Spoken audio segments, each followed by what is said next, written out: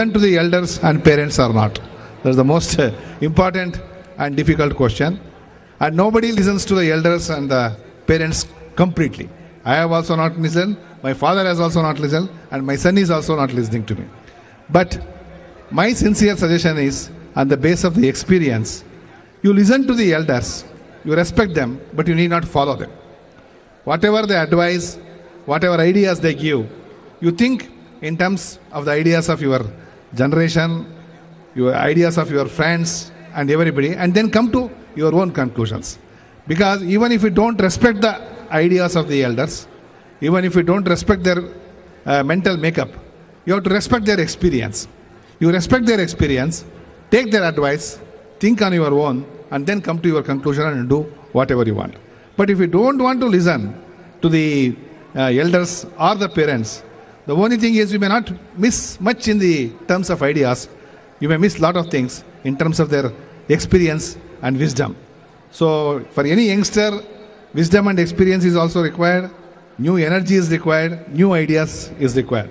So, new ideas and uh, energy can come from your youth, but wisdom and experience can come from the parents and the elders, your teachers. So, you have to evolve a combination of both to succeed in life. While doing this, you should never lose your uh, sense of wonder or sense of uh, uh, innocence also. So you should always uh, retain this youthfulness and uh, restlessness and uh, wonder why the world is like this, why the people like this. Can't we change the world? That question should be always there, even when you become 35, 40, or 50. If you lose, lose the sense of questioning and the sense of innocence, then probably uh, youth will be over early than it is uh, before 35 or 40. So listen to the elders, evaluate their advice in terms of your ideas, then follow it, but retain the sense of innocence and experience. And then you are all here to study the in engineering college. Many people, starting from Sir M. and presently Narayan Murthy, Nandan Nilekani, Premji, Kiran Manjudar, Majumdar, and all these people whom you consider as the role models, they are all engineers that you should be proud. But if they were only mere engineers, you, they would have not achieved so much. Apart from having a basic qualification in their discipline, like engineering or technology, all of them have become great because they have some idea as to how the society should be, how the education should be, how the industry should be, how the agriculture should be. So, recently you might have read in uh, newspapers that uh, one of the Google search engine was taken over by the two bright uh, youngsters. And they have taken it over at the age of 45. That is the distinction between the government work and the private work.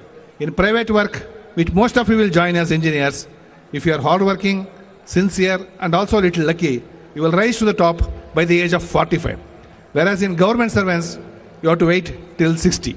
You have the advantage of 15 years if you can really work. But for that, you should not be merely an engineer. You should equip yourself with ideas and information and original thinking about how society should be. You take the example of anybody like uh, Saram Visvesvaraya was only a diploma engineer those days in the beginning of 20th century. He was a Diwan of Mysore and he changed the entire shape of the Mysore because he had ideas for everything. He had ideas for the KRS Dam, he had ideas for uh, Mysore University, he had ideas for building a Bhadravati steel plant, he had ideas for Kannada Sahitya Parishad, bank, everything. So like that, if we, mere engineering is not enough, you have to broaden your vision, then only you can contribute to the society. This, how you can develop this vision is the question. That is, you have to basically equip yourself uh, by thinking, what is my role as a citizen? What is my role in the job? What is my role in the organization? What is my role in the family? And another thing is, the society, the life, and the world changes, goes on changing continuously and every moment. And you have to recognize this change and accept the change. If you don't recognize, accept, and respond to the change, it becomes very difficult to grow either as an individual or as a family member or as a professional.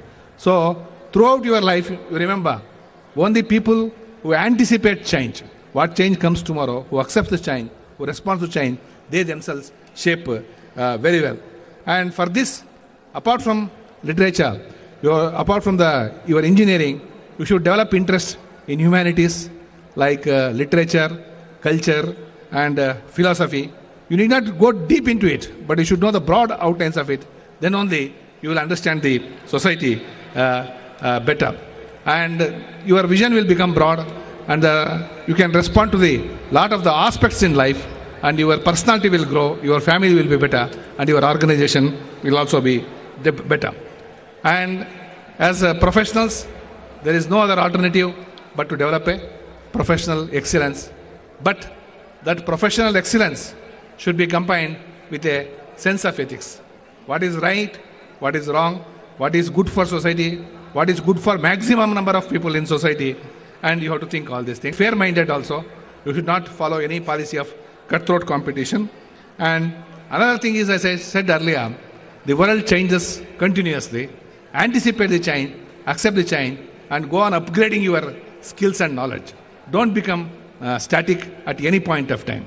A man who never grows is as good as a stone.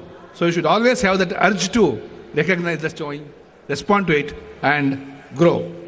And it is not sufficient if you grow only as a individual.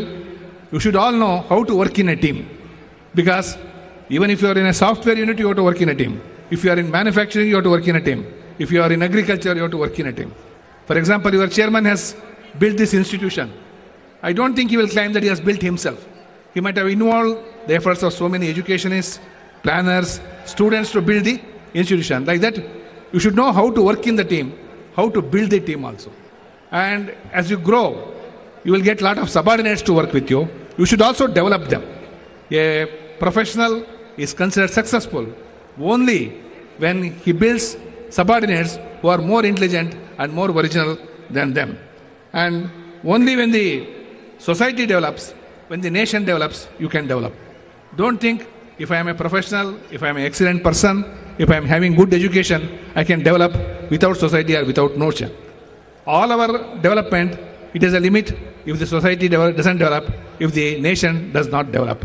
So you should always think what I can contribute to the society, how I can enlarge the life of the many citizens in the society and the nation. And you should always remember that the technology may come, the world may change, but the basic values in life always remain same. Like uh, friendship, loyalty to the parents, loyalty to the institution, commitment to the truthfulness, commitment to the beauty, respecting others. These are all the basic values which will never change in the society, and we should be having uh, great respect to these values. And uh, one thing that is uh, most remarkable about the youngsters of the present generation is the way they take interest in extracurricular activities. You take most of the music competitions, all the and any music program if you attend in Bangalore city, whether it is Carnatic music or Hindustani music or Western music, most of the people who are doing very well are youngsters from the technology sector and the software engineers. They are also uh, leaders in philanthropy and uh, charitable work like uh, Mr. Harish Hande, who got uh, Magsaysay Award. So, and there are people like uh, Mansi Prasad, who are excellent engineers and MBS and who are excellent uh, in music. So, with this, the whole world is open to you.